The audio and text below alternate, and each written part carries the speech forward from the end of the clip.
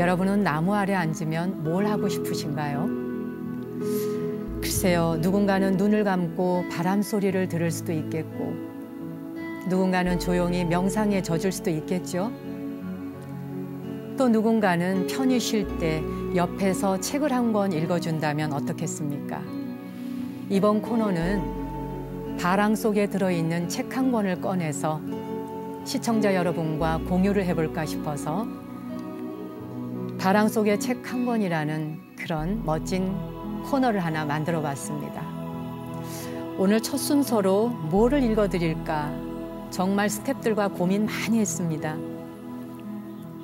서산대사의 해탈시 서산대사께서 열반에 드시기 전에 많은 사람들에게 남겨주신 해탈시를 오늘 함께 듣고 또 읽어볼까 합니다.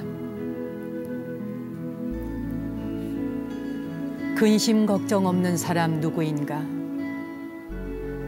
출세하기 싫은 사람 누구인가? 시기 질투 없는 사람 누구이며 흉허물 없는 사람 어디 있겠나? 가난하다 서러워 말고 장애를 가졌다 기죽지 말라. 못 배웠다 주눅 들지 말라. 세상살이 다 거기서 거기입니다. 가진 건 많다 유세 떨지 말고 건강하다 큰 소리 치지 말며 명예 얻었다 목에 힘주지 말라. 세상에 영원한 것은 없습니다. 잠시 잠깐 다니러 온 세상.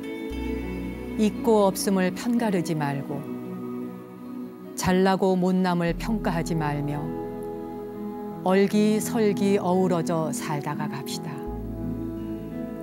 다 바람 같은 것이라오. 뭘 그리 고민하오. 만남의 기쁨이건 이별의 슬픔이건 다 한순간이오.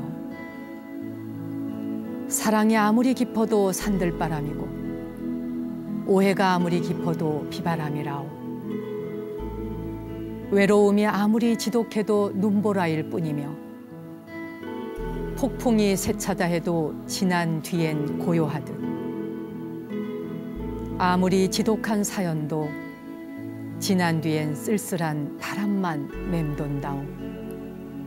세상 다 바람이라오. 버릴 것은 버려야지 내 것이 아닌 것을 가지고 있으면 무엇하리요? 줄 게 있으면 줘야지 가지고 있으면 무엇하리요? 내 것도 아닌 것을 삶도 내 것이라 할 게 없습니다. 잠시 머물다 가는 것일 뿐인데 묶어둔다고 그냥 있겠소? 흐르는 세월 붙잡는다고 안 가겠소. 그저 부질없는 욕심일 뿐.